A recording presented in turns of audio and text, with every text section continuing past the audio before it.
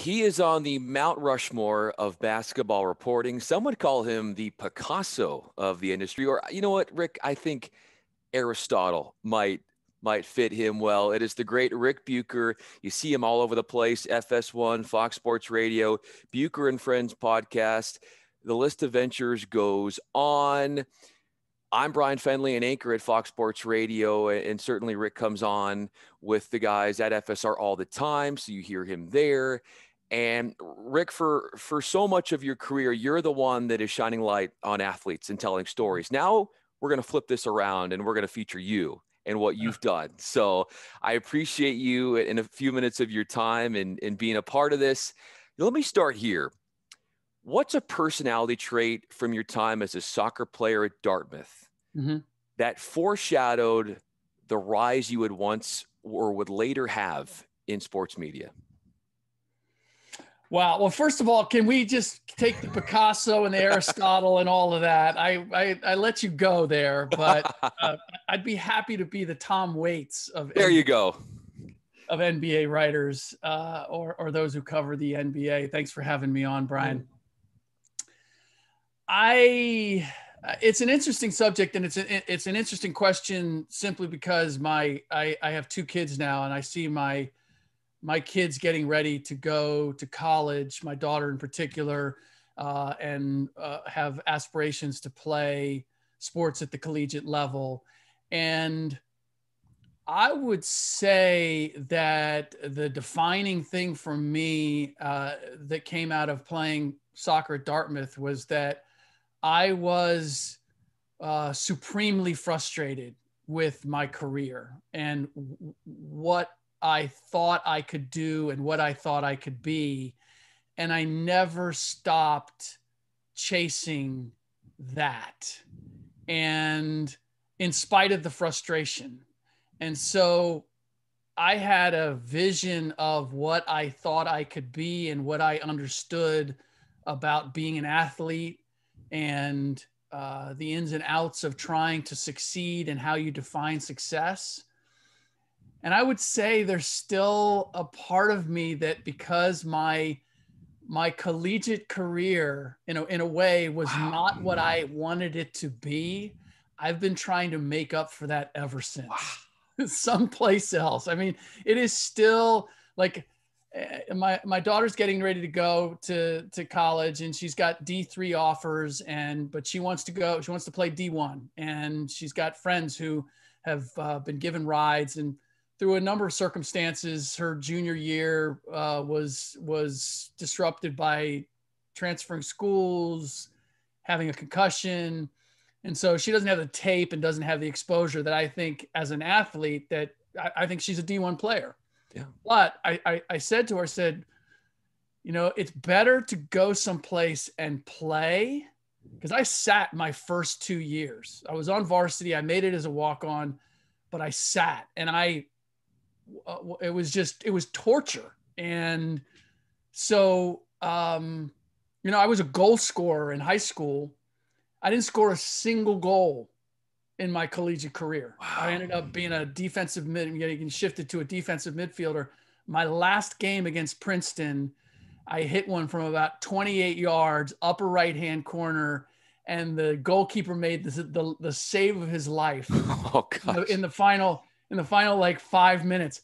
And I, you know, I can I I have a vision of that. Like I've my career is built on still trying to go back and score that goal.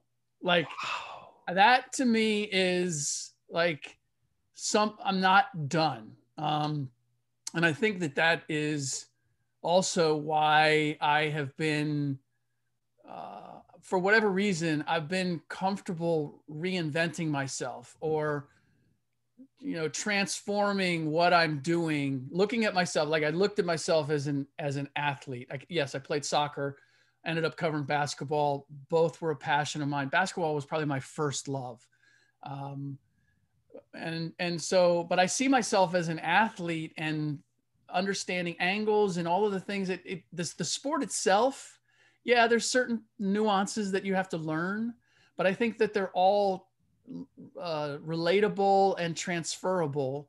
and and I feel the same with my professional career uh, as a as a journalist, as a writer, as a uh, TV analyst, um, is that it is all storytelling. It's all revealing something to an audience that they may not have known otherwise, or just finding a way to shift their perspective. That's always my favorite when I read a story is when it, it gives me that, oh, I hadn't thought of that. Or it makes me look at the world in a slightly different way.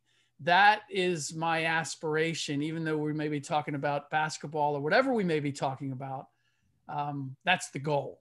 And so, in the same way, in the same way that, you know, I was trying to do something on the field or yeah. on the court or whatever, it, it's kind of it's it's the same deal. It's it's producing that that experience, that moment uh, that is singular and that makes people look at you or or the situation in a slightly different way.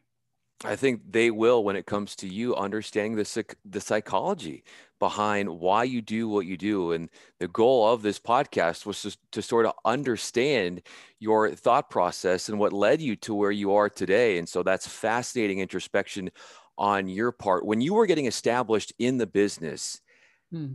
what would you do as far as the drastic measures you would take to separate yourself from your peers, to stand hmm. out? Yeah. Uh, I, well, first of all, I wanted to, I, the, the thing that I hated the most, and this was coming up uh, early on when, um, when I covered some baseball, uh, covered some baseball, covered some Major League Baseball, and covered some NFL, and would walk into a locker room, and I overheard like a player or two say, "Oh, oh, here comes the horde!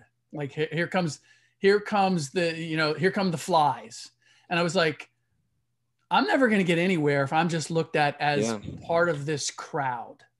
And so when everybody would go to talk to the star after the game or the leading scorer or whoever it was, I would go talk to the 12th man if it was wow. or I would go talk to someone else. And there was uh, Ron Borges, who used to uh, write for the Boston Globe, once told me early on um, and this was this was actually, I wasn't that early on. It was it was about midway through my career. Um, he uh, the there was a play in the NFC uh, uh, conference championship where um, a play got blown up. 49ers ended up losing to the Giants. Play got blown up and Roger Craig got stuffed and it was the pivotal game a pivotal uh, part of the game. Yeah. And everybody went to talk to Roger Craig. What happened? Everybody talked to the 49ers offensive lineman. What happened? Ron Borges went and talked to the defensive lineman or the linebacker that, that blew it up and said, What did you see? And uh, they said, We saw the offensive lineman shift their shift their feet. And it told them what was going to happen. And that's why they were able to blow it up. Now, everybody went one place and got the same story. Borges got that ah. one little, he got the key. He like he he cracked the code in terms of why what happened happened.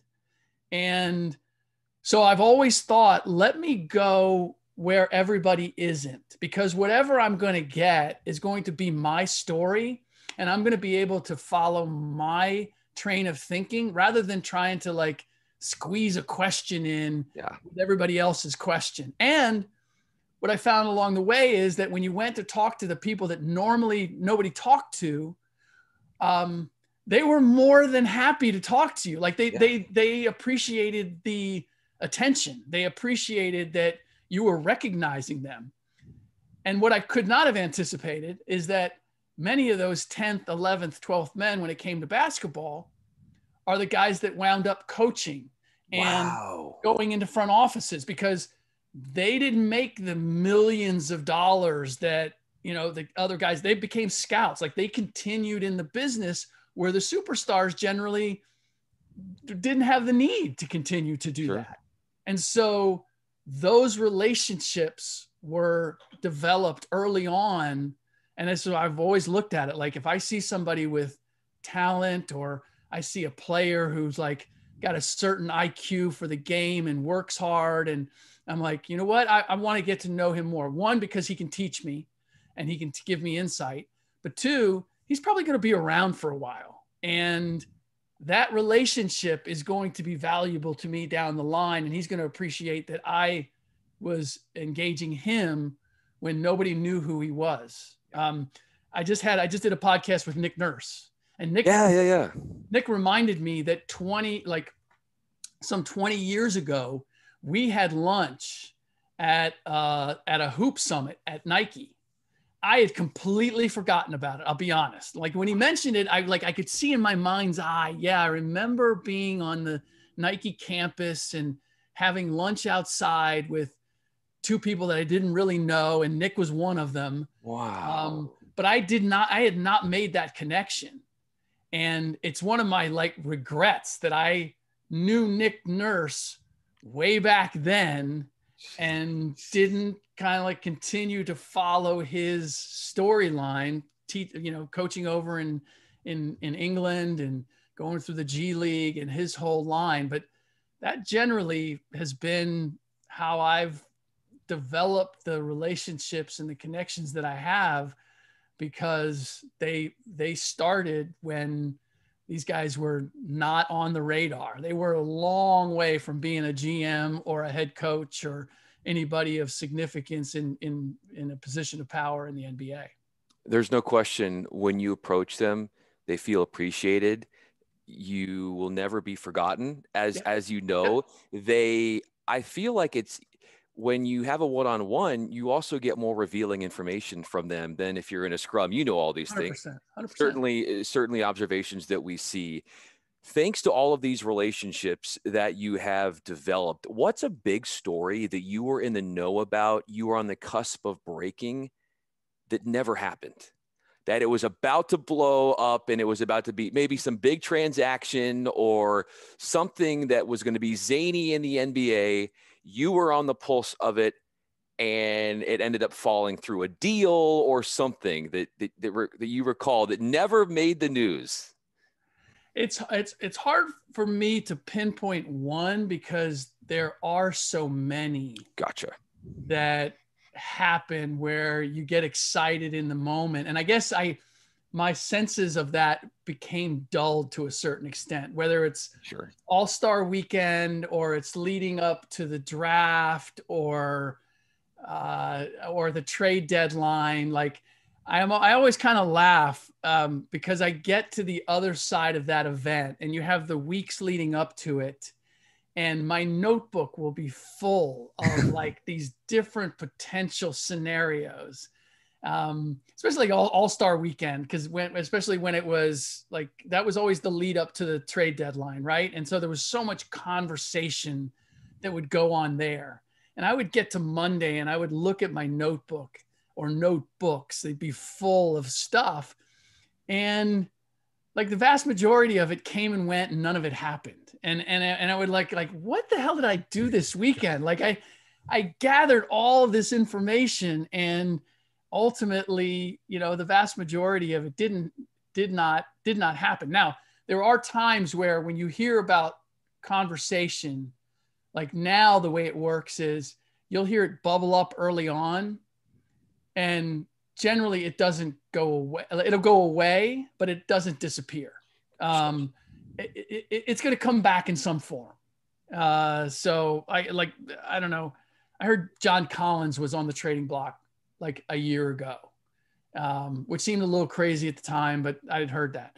I just heard it again. Like, and so there's, there's like, okay, so there's something going on there where that's not quite the fit. And maybe ultimately he doesn't get traded. Maybe they make some other moves, but that's where, that's where that value of things, like you're saying this, you know, the big deal that didn't happen.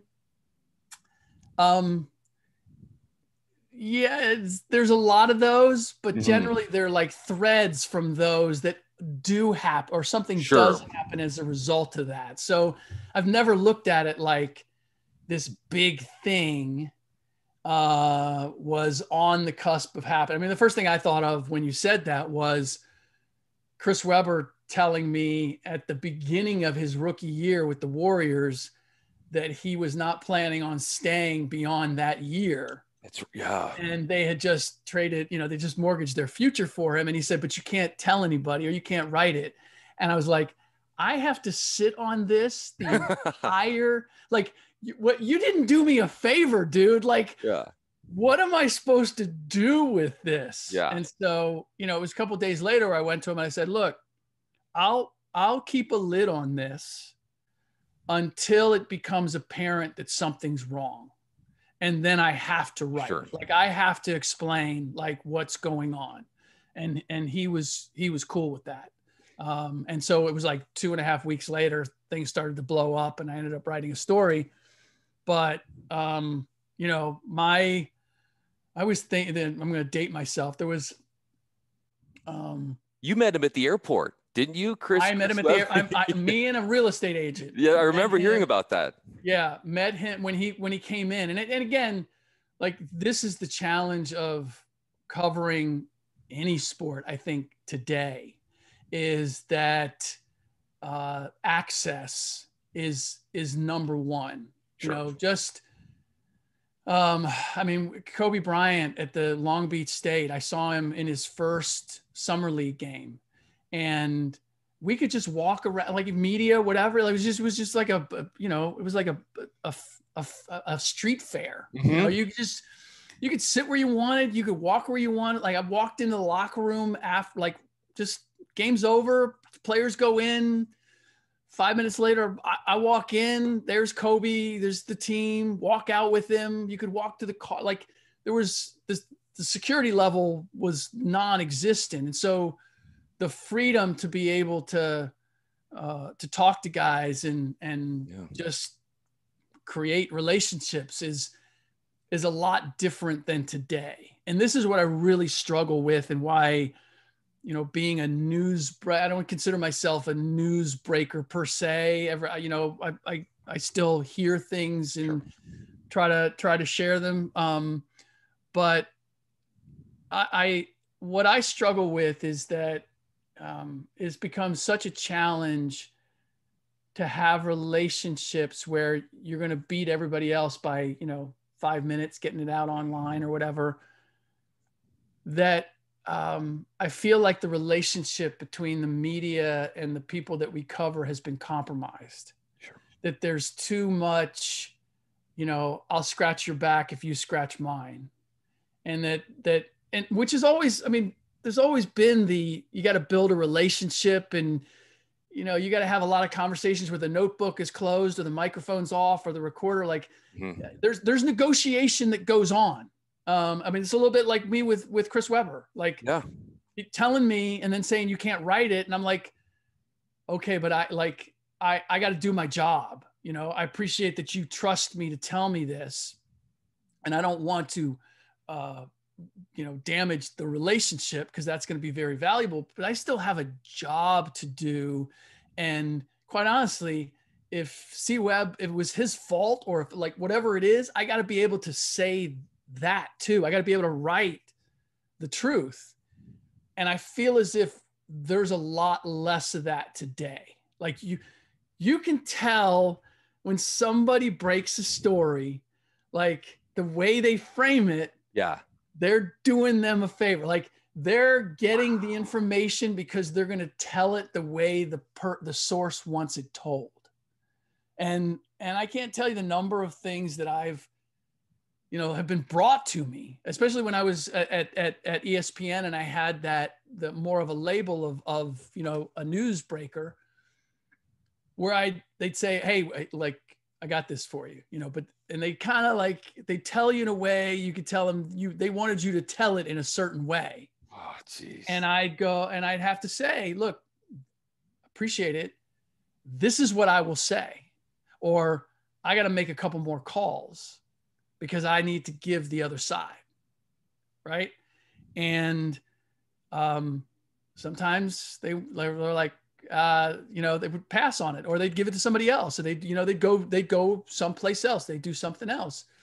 And so I, you know, technically was losing a scoop.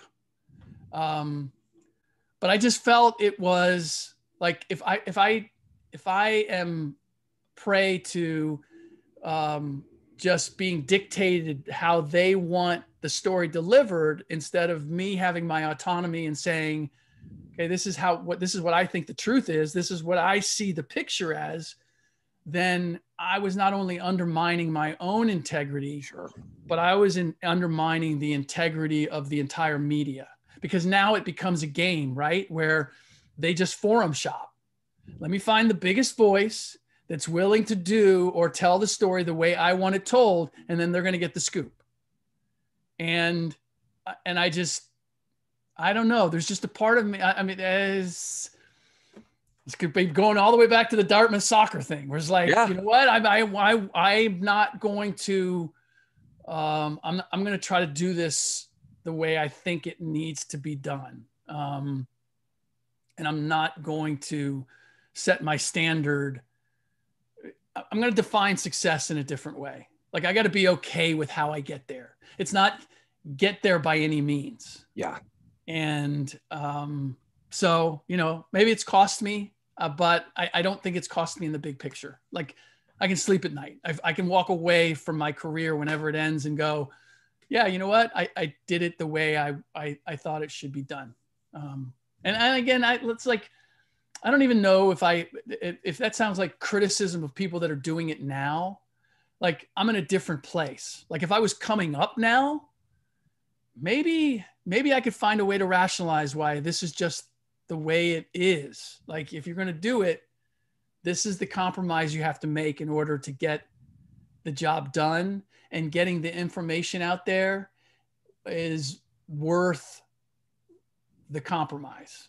I'm just glad I never had to face that never had to face that choice to make my uh, to make it my livelihood. You've got standards that you uphold, and you didn't get into the business to be a PR guy. And I think that when you have uh, those sort of tendencies, maybe it comes across like you were saying in ways in which you wouldn't go as far as presenting information, breaking news. That's not the way you do business. And that's why your brand is what it is and, and why a lot of people gravitate towards you. One of my final questions for you, and Ric Bucher is joining us. I'm Bryan Fenley. In one of your recent podcasts, you brought up the impact that Sekou Smith has had on your life and in your relationship with him. How do you want to use his spirit and keep it in your life forever, even though he's gone? Yeah, it, it it's it's affirmation of uh, everything that we've just been talking about. Yeah. Because um, Sekou is one of those guys who loved the job, who made it clear that he loved the job. He's been doing it. And he did it as long as as as I've been doing it. We kind of came in, you know, pretty much at the same time, and um, and and I always like.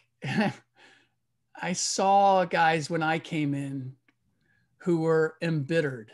Like I think we know that the the the, the salty old sports writers who are just Yeah. Oh, yeah. you know, and and I kind of get it because we all are gravitate to wanting to work in sports or cover sports because we love the story, right? We love the uh, the magic of sports and what can happen when people come together and try to accomplish something and they they make miracles happen right that's that's what it that's what Mhm. attracts us and then we cover the sport and we see underneath like all the politics and the greed and the egos and all of that and and it, Mhm. it kind of immediately takes the shine off of the thing that attracted you to it to in the first place Sekou never lost that. Like he never lost that that love that we get to do this for a living and the love of of sport and how it brings people together uh, to create that collective magic. And then the fact that he was a father and a husband and you know as I've experienced it was really easy for me when I was single before I was married. Like I could just focus on the job. And that was, and I loved it. I'd travel wherever, do whatever, When do I need to make a phone call? I, I, love that freedom. The challenge of then doing the job um, and having kids and being a husband and, you know, and having a healthy balance and still loving the job and still putting as much as I possibly can into the job. Like Sekou did all of that. And then to see how that resonated with people, because I, I can't name a single story that Sekou, I'm sure he broke stories, but that's not what he was like, that's not what people remember about him. It's uh, the, the, the spirit with which he did the job and he lived his life. And that uh, to see everybody recognizing that and and mourning that that spirit has been snuffed from us that to me is the uh, the motivation and the inspiration um, to continue to do it where like help the next person coming up. I mean i get a lot of calls and a lot of people reaching out. How do i how do i get to do what you you know do? And i i don't know if that path even exists anymore but uh, I, you know, I, I want to help. I want to help, and and in large part because it's what Sekou would have done, you know. And so, um, yeah, I'm glad you asked the question because, yeah. like, you know, we we we saw more of each other when we were beat writers, and we would see each other now and then. So I can't say we were like particularly close. Sure. But we knew each other a long time and we were in the business and he was just one of those guys that I was just always happy to see and was an affirmation of like doing the right thing because it's the right thing to do. So well said, Ric. And I want to finish off by asking and and bringing up a book that you're a part of with Brian Grant. Yeah. And the the journey that he's been on and you helping write this. I'd love to finish with sort of your thoughts on what it was like putting that together and when people can get it, where they can get it, and why it's going to be a, a, really cool read for for basketball fans everywhere. First of all, I'm convinced that I'm a glutton for punishment when it comes to uh, to to writing biographies or helping guys write their memoirs because my first book was with Yao Ming. Okay. I didn't even know how much uh, English he could speak when we first started the project, and he had an interpreter, Colin, Pl- Colin Pine. And the first time we worked on the book, uh, we sat down and Colin translated everything. Like, and I could tell by the way he was translating it that this was not me asking questions of Yao and getting Yao's response. This was me asking questions of Colin and getting Colin's response based on what he thought Yao should be saying. Oh my goodness. Um, and so I was like, this is not going to work. And then we wound up meeting in Hong Kong and Yao came to my hotel room and um, this was the first time like, can we do it without an interpreter? And he had just taken an elbow to the forehead and um, and he pointed to it and said, looks like the Mercedes Benz symbol. And I was like, you know what? This is going to work. We're, yes. we're going to, I got to figure out like how to write this because what the, the English, I didn't want it, wanted, didn't want him to sound like a simpleton because his yeah. English was simple. Sure. So I had to figure out like, okay, he doesn't know this word now, but he's going to know it in six months. Mm-hmm. So I can use it in trying to relay his English or amplify his English. Brian Grant, uh, young onset Parkinson's. One of the first things it affects is your memory and it also uh, is uh, um, creates depression, which people dealing with pre- depression often isolate and connect themselves and disconnect from from the world. So I'm basically trying to write a book with a guy who can't remember everything and uh, disappears for weeks at a time. That's that's that's where we started. And but um, I knew, I don't know. I, I I'm a sucker for the underdogs. Again, might come from you know being a walk on or whatever. I mean, I, all roads lead back to that experience. yeah. Um, there's something about um, how people felt about Brian as a player in spite of the fact that he wasn't an all-star, he wasn't like um, a, a, a premier player. He didn't have that. But if you talk to people in Portland about how they felt about him, or Sacramento or Miami, and the fact that he that that like Pat Riley, he's he's a Pat Riley guy. Like, you know, Pat Pat gave him uh, at one point when he when he traded him to uh, L.A. to the Lakers, he gave him a forever card.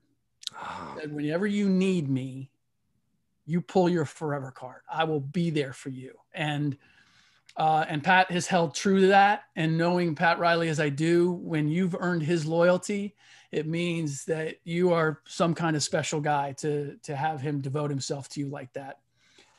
So for all those reasons, and then you know just seeing somebody, I read Michael J. Fox's uh, Lucky Man, mm-hmm. and I thought, here's an actor who got Parkinson's and how it affects him.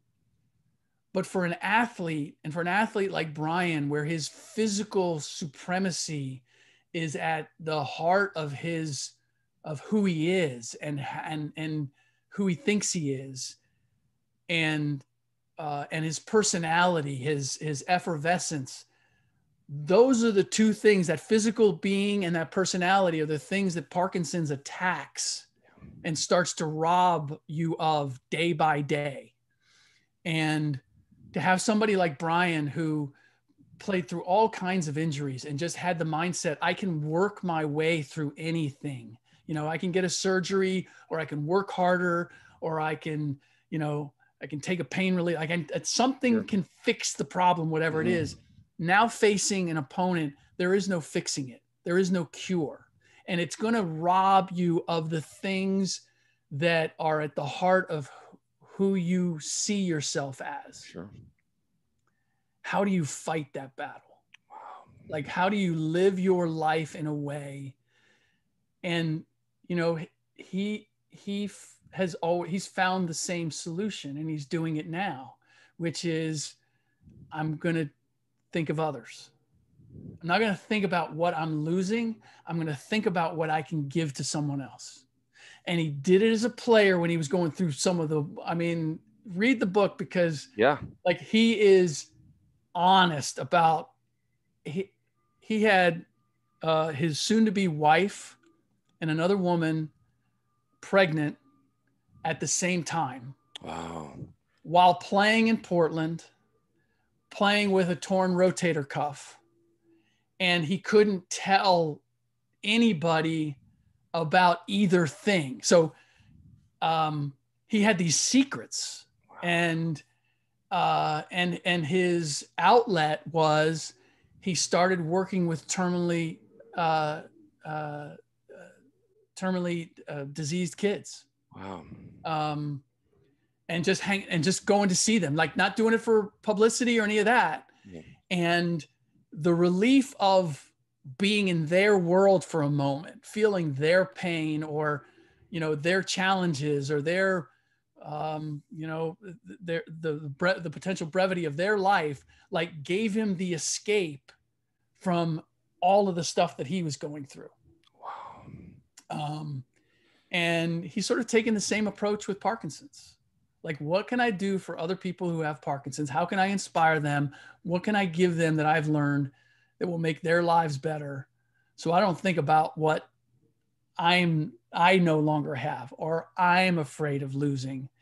And I just I, I found it incredibly inspiring to be uh, given the the uh, the trust to step inside that experience and and listen uh, to what it's like and how you fight that fight and again, same kind of as Sekou, you know, doing the next right thing because it's the right thing to do.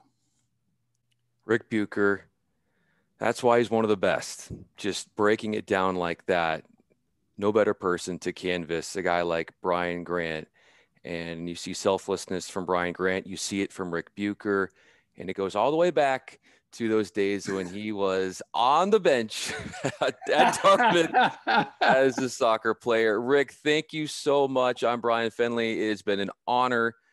I know your time is very valuable. And I know a lot of people are going to love this conversation. Really, really appreciate you. My pleasure, Bryan. Thanks for having me.